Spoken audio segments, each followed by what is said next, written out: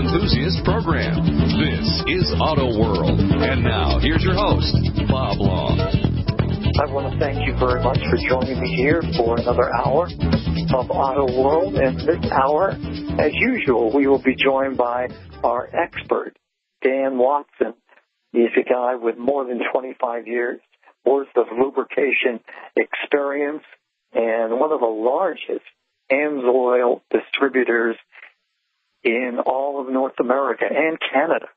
So this guy really knows his stuff. We've gotten so many great emails and feedback about uh, the material that that Dan uh, gives out each and every week, and uh, we're very lucky to have him.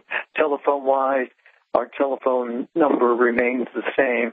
It's eight five five six six zero four two six one eight five five six six zero four two six one. And uh, the email, bob at boblongradio.com. Quick trivia question throw out there. Let's see, this is such an easy one. Uh, who made the Matador? Which uh, domestic manufacturer made the Matador? Whoever gets the uh, correct, whatever, whatever gets the correct answer, um, we're going to get your prize from the Busted Knuckle Garage. Hey, do you need classic car insurance? Well, do yourself a favor and go over to Hagerty.com. Simply, no one is better. Or you can visit your local agent and they'll get the Hagerty insurance for you. Hagerty, for people who love cars. Our guest line is powered by Hagerty, and we welcome the very powerful Dan Watson to Auto World. How you doing? Hey, I'm good tonight, Bob. Good, excellent. Really looking forward to uh, to our chat here. I happen to be with my wife and daughter and doing some errands and in our neck of the woods where you and I both live. And I went by. It was on Saturday, so I figured you probably weren't there but I see your distribution center, and boy, that is a really nice building. Remind myself and the folks how long you've been a distributor and and how business has been. Well, I've been with AMSOIL since 1991, and uh, I retired from the Navy just a couple of years later in 19 summer of 1992. So I started out with AMSOIL just part time, like a lot of folks do, and though, has been at this since uh, 1971, so long time they've been in business. And uh, we put out some information uh, over a couple of weeks, just telling people that if they had any inclination that uh, this is an expanding business and that there's still opportunities for uh, new dealers to get involved in the AMSOIL business. And quite a lot of uh, response to that.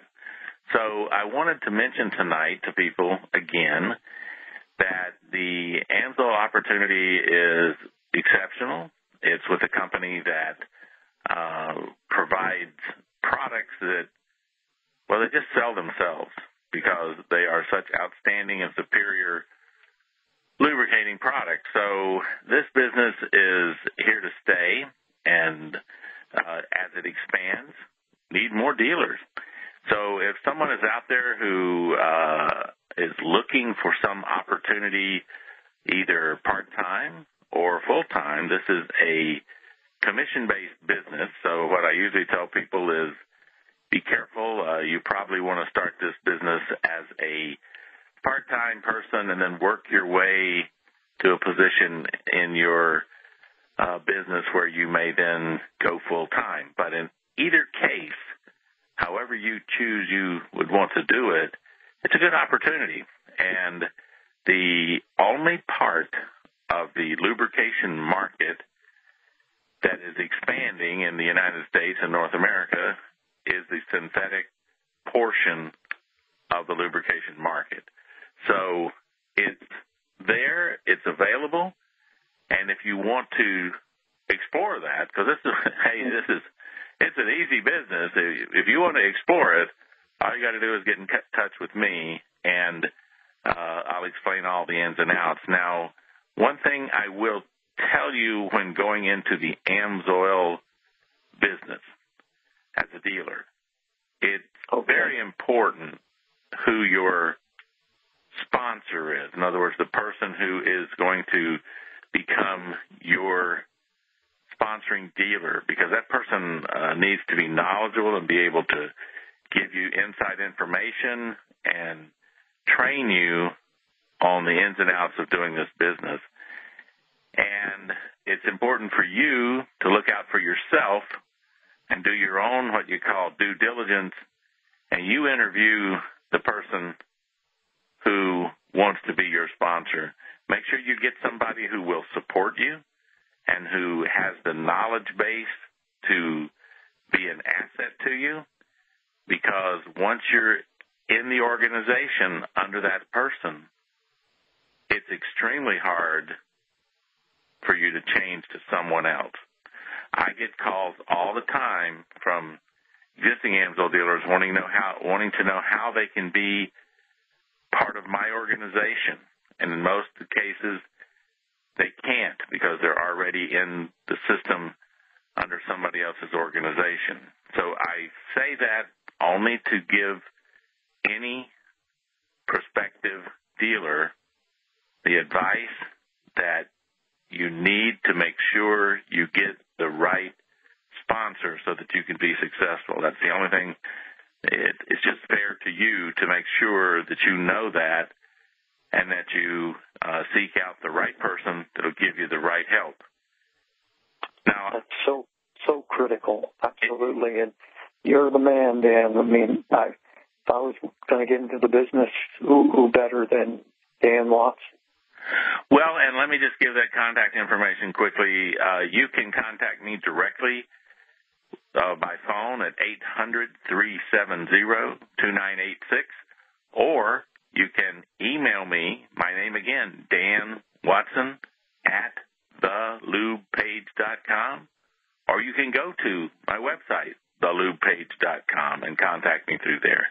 So I think, Bob, tonight what we're planning on doing is answering questions. So hopefully uh, some folks will pick up that phone and give you a call at the number at the station, and uh, we can answer some questions. Because I find usually if a person's got one question, there's a hun- several hundred people that have the same question. That guy's just yeah, calling in to represent all those people. That's so true.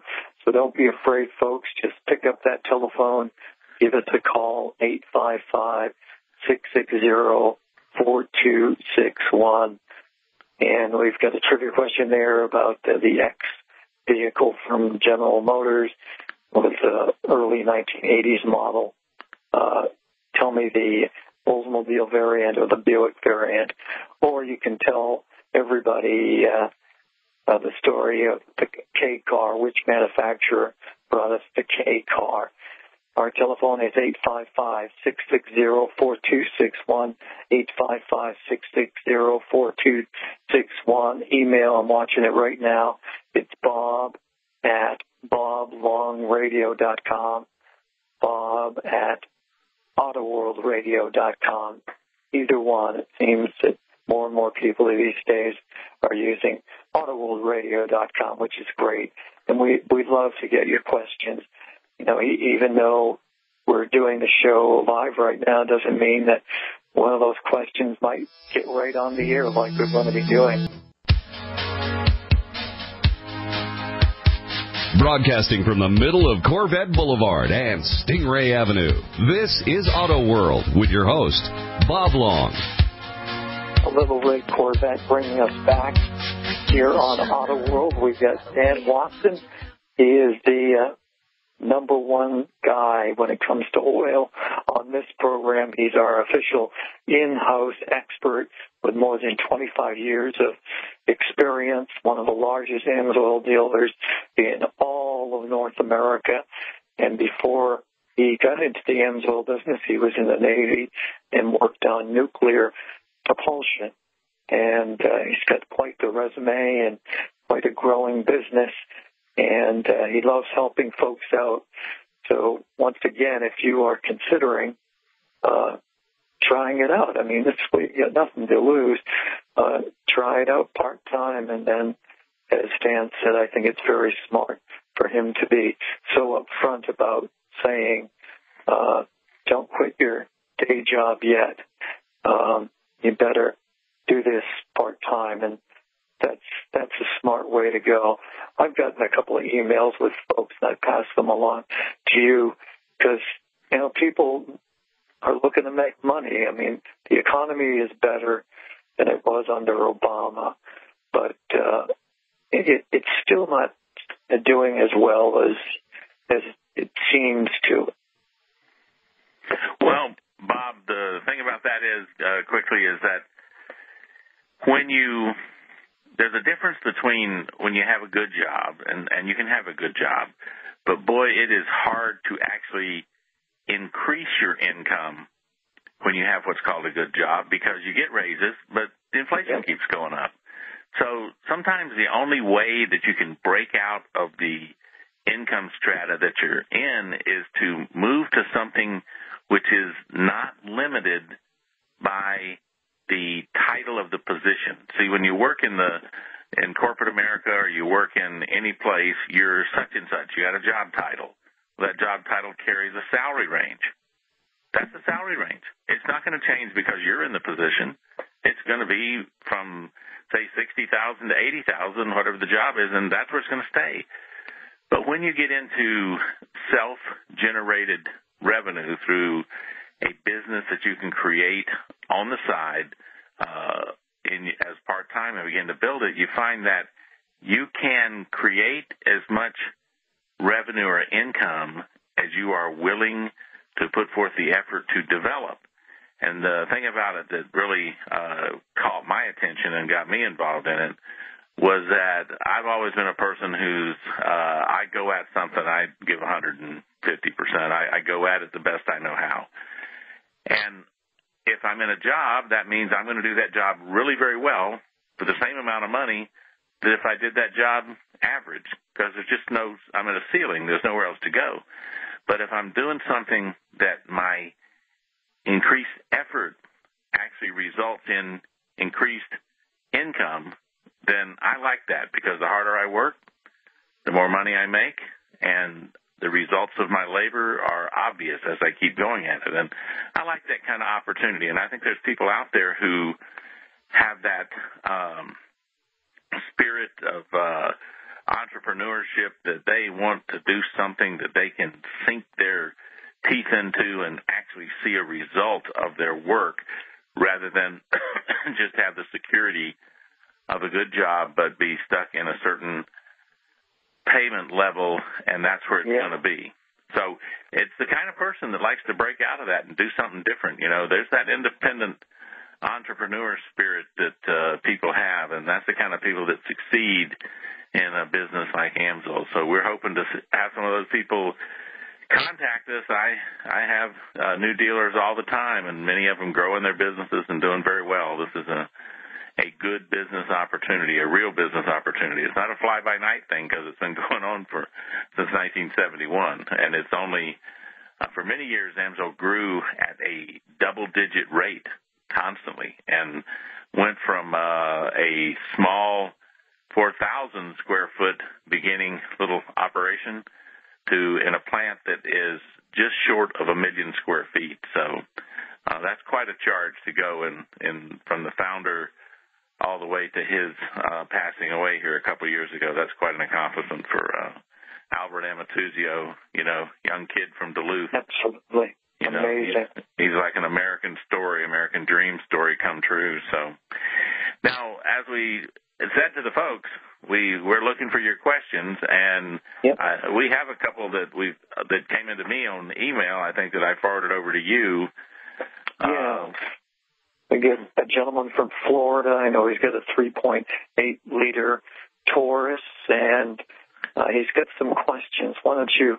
Since my internet is doing. Oh no, that's all right. Yeah, this this uh, fellow has a 3.5 liter uh, Ford Taurus, and he tells me that his name his name is Dave, and he's been running 5W20.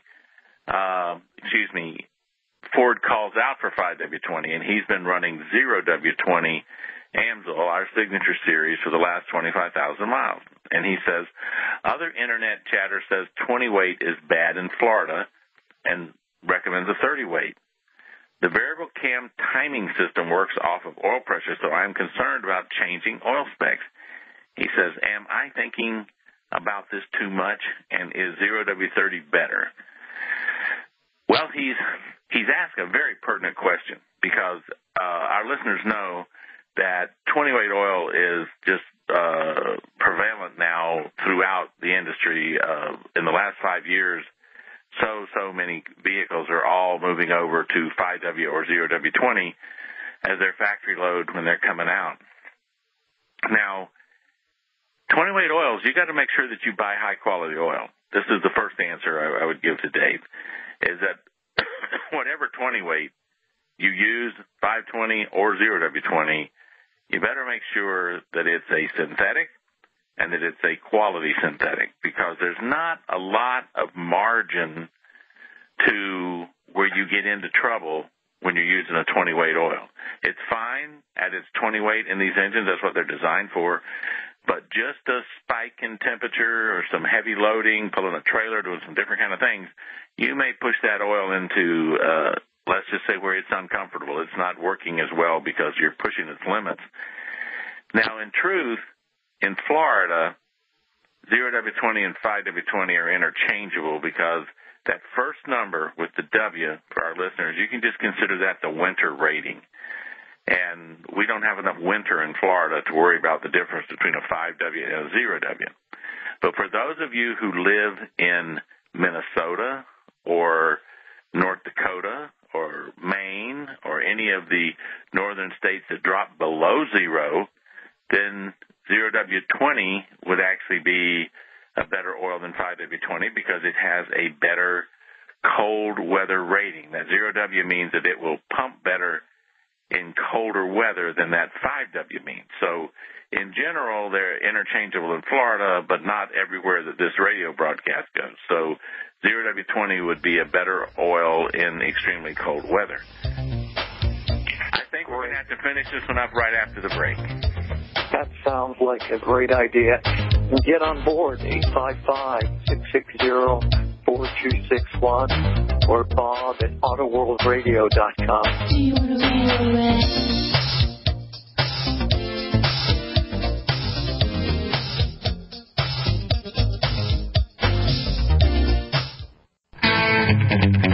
And now, back to the show with the highest octanes, Auto World, and your host, Bob Long. Dan Watson, CEO of LubePage.com, is with us.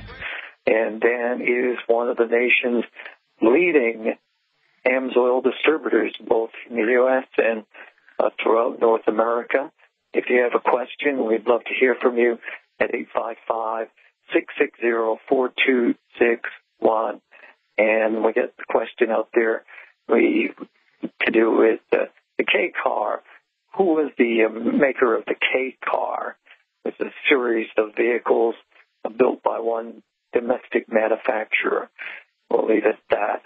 And we were talking about the question that came in with the 3.5 liter V6 and the concerns that the, the owner had about the uh, the weather So he said that zero W twenty is okay.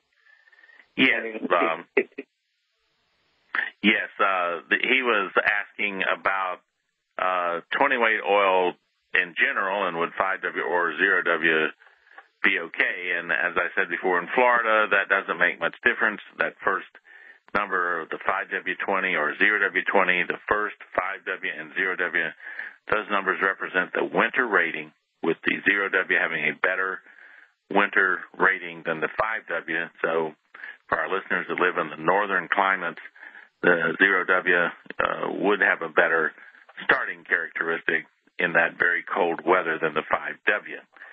Now, he asked about um, could he run a 30 weight oil in Florida?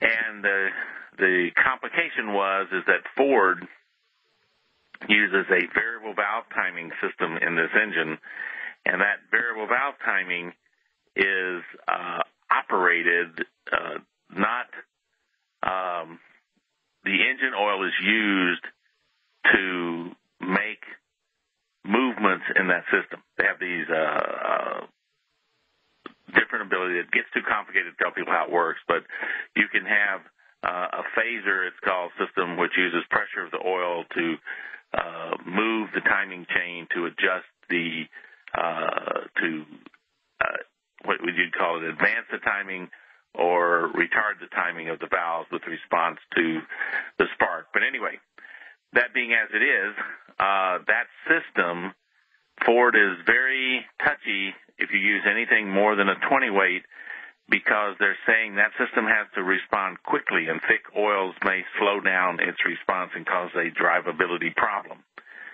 Now, zero W30 AMSOIL, especially in the southern climates, will not do that. It moves extremely fast, and then particularly because it's the zero W side that is taking care of business during the cooler operations of the engine. Once the engine's up to full temperature, that 30 weight oil from the AMSOIL Signature Series will that um, it will operate that variable valve timing with the same quickness as a 20 weight oil. So if you were going to be uh, towing boats or towing horse trailers and you had a situation where you were running the 20 weight oil, you might want to run the 0W30 to get a little bit better uh, heavy load protection and still have the same response in your variable valve timing. But to all of our listeners out there, variable valve timing is serious business that you can mess it up with too thick of oil. So please don't go putting 20W50 or 10W40 oil in any of these engines that have variable valve timing. Uh, you'll be going into the dealership wanting to know why your car doesn't run right, and you will get absolutely blasted for having put that thicker oil in that car. And in fact, if it created a bad enough problem they had to do work, it will void the warranty. So do not put thick oil in a variable valve timing situation. Um, it won't work right, and it could cause you big problems if you have a warranty issue. So, I think we got that one covered, Bob. Yeah, you did a fantastic job as usual with that one. You know, we, we talk a lot about oil on the program, but AMSOIL makes a whole wide variety of, of other fluids because there are so many different systems within a vehicle that require fluid. And I know we got a we got a call. Somebody emailed us up to do with uh, transmission and wanting to know your thoughts about changing that fluid. Yes, yes. Uh, transmission fluid is um, it's pretty straightforward. The most complex piece of machinery in your car, by far, is your automatic transmission. And the most difficult lubricant to formulate in your car is transmission fluid. There's a couple of things working against us when we make transmission fluid. One is it's literally down around a, excuse me, around a 10 weight oil. Now, that's a very thin oil. Yet in the transmission, it has to lubricate real steel gears, gears that are the same as they are in a manual transmission as far as the, the gear itself. There are other things in the transmission, automatic transmission. You have a torque converter, it's like a pump that pumps high pressure fluid. You have a hydraulic system, which is operating and moving different components in the transmission uh, as directed by the brain of the transmission. And I have to have a fluid that can stand the interaction of steel gears and protect those gears as well as a gear lube does in a uh, manual transmission. And then I turn around and I need this fluid to be quick hydraulically and operate quickly. And then I squeeze this fluid between a series of wafer clutch discs that are uh, abrasive so that they would actually stick together when they're pressed together, splined on a shaft. That stuff gets pretty complicated, but the real truth is I got to come up with fluid to do all these different things. And so wow. transmission fluid takes real talent and skill on the formulator's part. And the great thing now is with a good quality synthetic base oil, you can get by and handle that 10 weight oil. See, the the problem is is that in a transmission you could use thicker oil. In fact, early days, real early days, they could use they used 30 weight oil. But in certain climates in this country where it gets really cold, uh, your transmission would cut your fuel economy in half, if not worse, for the first 30 minutes of operating your car with a transmission with thick, very cold, thick fluid in it. It would just, it's like a brake almost, taking so much power from the engine just to turn everything through all this incredibly uh, thick, heavy oil. And the torque converter itself, which is like a pump, would be trying to pump this heavy stuff that takes all kinds of power off the engine just to get this thing going until it would warm up. So moving to lighter weight transmission fluid is a way to get a fast, responsive transmission, even though it's starting up cold. And that's the main reason that we've gotten to thinner and thinner oil. We now have um, original transmission fluids uh, from AMSOIL. We have what we call our, our uh, multi-vehicle transmission fluid, but we have a new one which we call our fuel economy uh, transmission fluid, fuel efficient, and it's a lighter weight because the newer cars are all calling for this lighter weight transmission fluid because when they have to do the mileage test for the government to determine what the fuel economy of that vehicle is, the government requires now that you have a combination of cold weather conditions in order to make this statement. Wow. It looks like we'll have to finish that discussion right after this break. It certainly does. And again, we'll squeeze you in. 855-660-4261. I'm Bob Long. Ten miles east of the highway,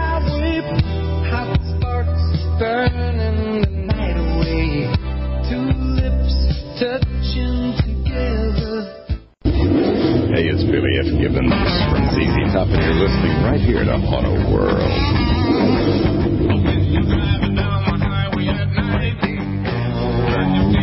Talking about Amsoil with our regular Amsoil guy. He is one of the largest distributors in all of North America, and uh, he also has more than 25 years worth of experience. Before that, he was uh, involved in the Navy and the nuclear propulsion. So, what a vast background, and and what a great guy. And we didn't quite finish up that last question, so why don't we do that and then move on? All right, Bob, we were talking about transmission fluid, and the reason we hadn't couldn't quite finish it is because, boy, that's a subject that's a show of its own. But anyway, let's just suffice to say that the transmission fluid is a very complex fluid to make. It's very thin, it's very lightweight. Uh, in fact, if transmission fluid runs at above 200 degrees, uh, most of the manufacturers would tell you you got to change it every 15,000 miles. If it runs over 210, you need to change it in 5,000 miles. So we're trying to keep transmission fluid under 200. Hopefully, it's close down to about 165. You know, nothing above that. But that doesn't work. It gets hot in all of these cars. Many um, uh, vans and trucks and vehicles have uh, isolated that transmission due to aerodynamics of the vehicle to where very little air gets past it. So we take oil up to the front of the car and we try to run it through a cooler in the bottom of the radiator to make an attempt to cool it off. And transmissions run hot. So in many cases, the best best option for any of these transmissions is to put a synthetic transmission fluid in those transmissions. If it didn't come one, come with you need to put it in. If you had a synthetic transmission fluid in the vehicle when you bought it, then pay attention to the long-term change intervals. And there's a huge company that backs up the idea of using synthetic transmission fluid, and that is Allison. Allison makes heavy-duty transmissions for buses, trucks, over the road trucks, everything. They are a renowned manufacturer of big, heavy duty automatic transmissions. When you buy a new Ford Power Stroke uh, F350 diesel to pull your 36 foot triple slide out RV trailer across the country, which many people are doing these days. Here's something, or you've got a pusher, big pusher, or, or you've got a uh, RV, or you've just got a work truck that you're pulling a heavy trailer with. Any of these kind of things, and you have an Allison transmission. In actually to get an Allison, it would be in a Duramax or Chevy Silverado or uh, a GM product because that's where you find the Allison transmission.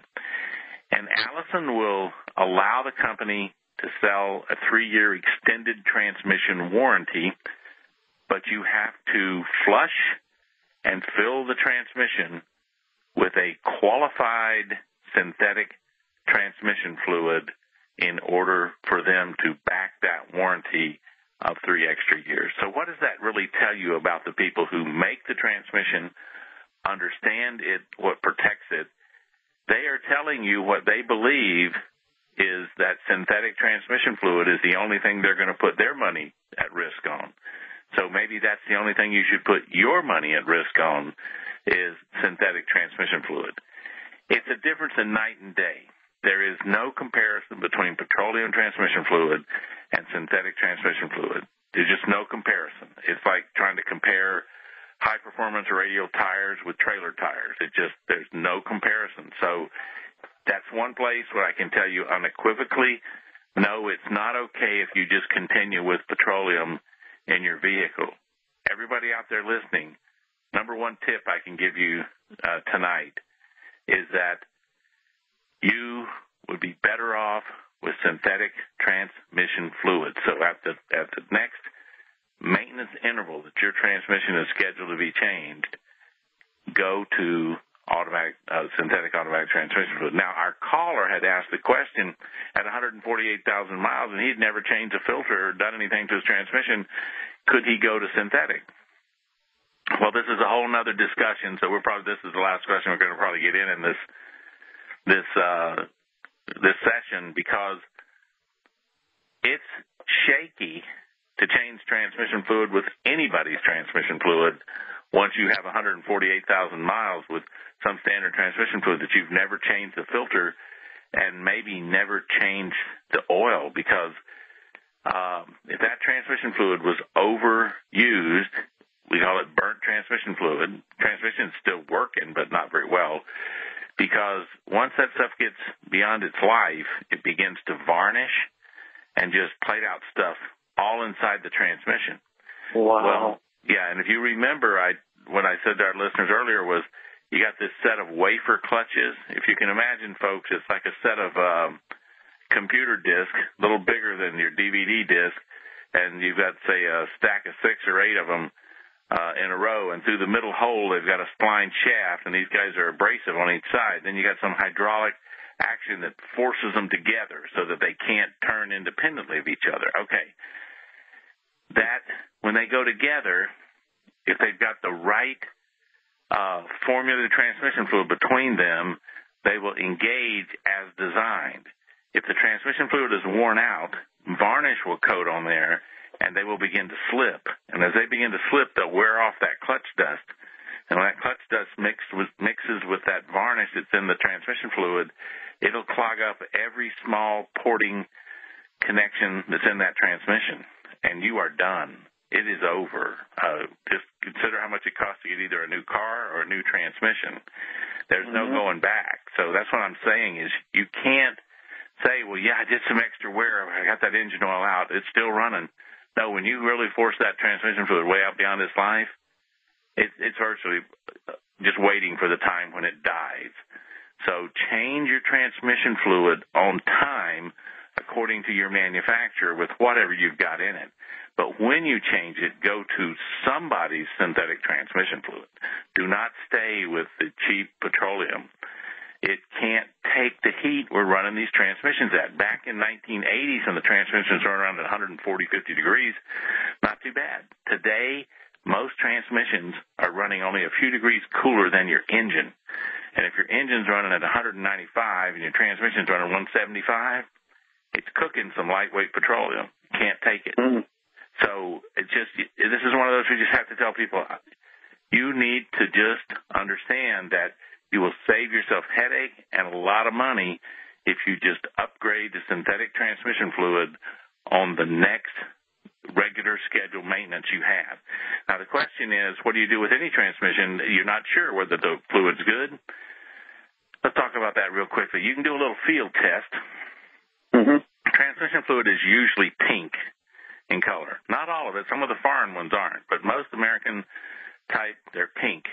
So your first thing to look for is the color of the transmission fluid. If it's still pink to red, hey, it's it's really in pretty good shape. If you look at it and it's lost its pink color, there's not much left of that, and it looks like a it's a dirty brown. Well, uh, take the transmission dipstick out and take a very uh, clean uh, white napkin and put some drops on that napkin. Let them soak in and see if they are uniform when they soak in or if they leave a ring at the outside edges of the drop. If they leave a, leave a ring at the outside edge of the drop, I could be real crass here and say, seek trade in. Take your car for trade in. It would be the best thing to do if there's a ring around the outside of that that drop Yeah. because that means that there's so much uh, debris in that transmission that it's literally it, it kind of floats in the thing until it can't go any further, and then it's the stuff that's on the outside of the stain, if you know what I mean. It's like a uh, eyeliner put around the stain. That's really bad news. But if you don't see that, the next thing to do is to smell the transmission fluid. Yes, I know what we're smelling transmission fluid. Let me tell you, if it's burned, you can smell it. It has a Mm. very foul, burnt sort of odor, like a piece of burning plastic. Okay, and uh, that's how it'll smell. And if you've got burnt transmission fluid, you're going to need to go to a transmission shop and talk to them about how they're going to do a careful flush of that transmission, try to get all this stuff out, and try to get you set back up. Because the problem is, depending on how long the transmission fluid has been burned, it can leave all kind of residue in that transmission. If you come in with anybody's transmission fluid into a varnished up transmission, all transmission fluids, whether they're synthetic or petroleum, are highly solvent. Folks, what that means is they clean with aggressiveness, okay? So when you put a new load of transmission fluid into a varnished up transmission, it'll begin to strip varnish like it should everywhere out. It's getting it out. You think, well, good, that's going to get caught in the filter. No, most of it's going to get caught between the clutch faces. It's going to cause that transmission to slip like the devil and probably be ruined. So if you want more information on this, we got great information at the Lube page. And send us your questions. We'll answer them on air. That's right. Dan Watson at thelubepage.com, Bob at autoworldradio.com. Thank you, Dan. See you next time, Bob. That will do it for this hour. Folks, this is Bob Long, host of Auto World Radio, with great news. We have a new sponsor, Dan Watson, who distributes AMSOIL throughout the USA and Canada. Dan is one of AMSOIL's largest distributors. He's a former U.S. Navy nuclear specialist and a certified lubrication specialist with 25 plus years of experience. You can listen to Dan every Sunday evening live at 6 p.m. Eastern Time here on GCNlive.com. Get all of your questions answered and ensure you get the best lubrication for your car, truck, boat, or really anything that moves. In 1972, Amsoil pioneered synthetic lubrication and Amsoil continues to provide the best lubrication money can buy. Get the best advice for the best results. Contact Dan at thelubepage.com. That's thelubepage.com or call 800-370-2986. That's 800-370-2986.